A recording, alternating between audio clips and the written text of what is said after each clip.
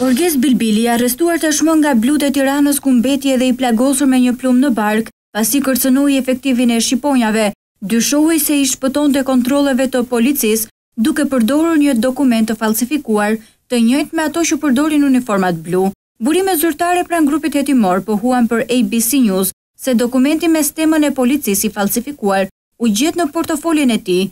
Tridhjetë vjeçari nga Lushnja u plagos në rrugën Sitki Çiço në zonën e Xhamllikut, pasi nuk iu bind urdhrit të policisë, teksa iu kërkua mjeti i identifikimit apo edhe nëse kishte leje dalje në këtë kohë pandemie.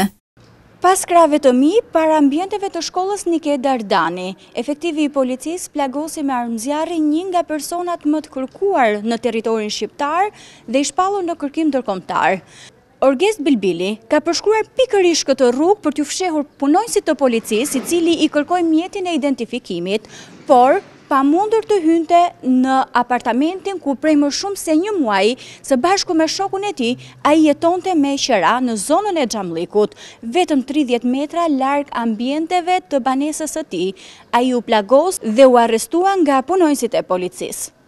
Burime pranë policisë bëjnë me dije se prej më shumë se një muaji, Bilbili së bashku me shokun e tij, Anterio Kaloshi, të dy nga Lushnja, jetonin në katin e shtatë të këtij pallati, të cilin e kishin marrë me qira. Kaloshi mësohet se është një person me precedentë të mëparshëm për veprën penale Krime kundër njerëzimit, tashmë i shpallur në kërkim nga policia.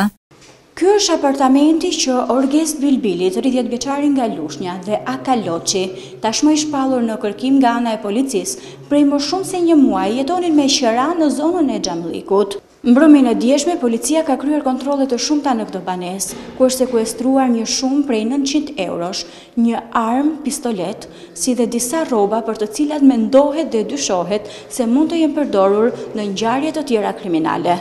Për ABC News banorë të këtij pallati shprehen se nuk i njihnin dy të rinjtë. A i njihnit dy djem që jetonin këtu? Asnjëherë s'i kam parë.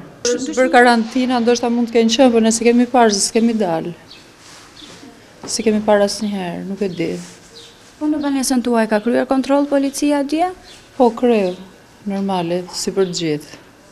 Orgest Bilbili së bashku me mikun e tij Laert Haxhiun, ishin shpallur në kërkim lidhur me masakrën e ndodhur në dy mijë e shtatëmbëdhjetë në Lushnjë, me dy të vrarë e dy të plagosur, ndërsa tashmë mbi të rëndon edhe akuza e tentativës së vrasjes së punonjësit të Policisë së Shtetit.